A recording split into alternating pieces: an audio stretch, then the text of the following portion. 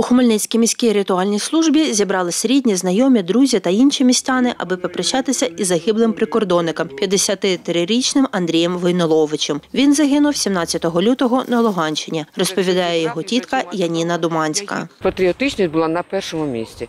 Він настільки в нього прическа, цей селедить, от, от, е, жовто-блакитна стрічка кругом позав'язана. Це обов'язково з 14-го року. За її словами, Андрій Войнолович у цивільному житті змінив кілька спеціальностей. Був і охоронцем, і працював з кіньми. Повістку отримав у травні минулого року. І ми думали, що ну, як, як піде він на цю комісію, то його не візьмуть, тому що у нього хвора печінка і з дитинства.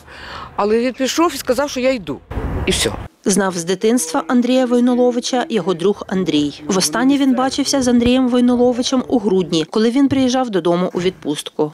Він дуже просив, щоб я за батьком подивився, там, е, бо він е, от, е, фізично майже не виходить з квартири. В неділю е, мені вже позвонили, сказали, що його е, дроном вбило. Андрій Войнолович власну сім'ю мав давно, каже його тітка Яніна Доманська. Він в розводі не має дітей.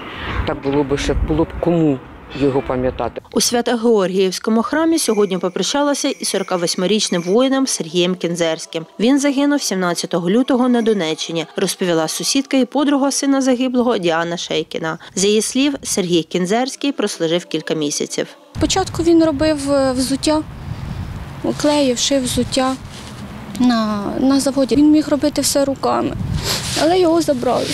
Сергія Кінзерського залишились син та дружина. Обох воїнів поховали на алеї Слави кладовища у мікрорайоні Ракове. Наталя Сідова, Оксана Євтухова, Віктор Кривий. Суспільне новини. Хмельницький.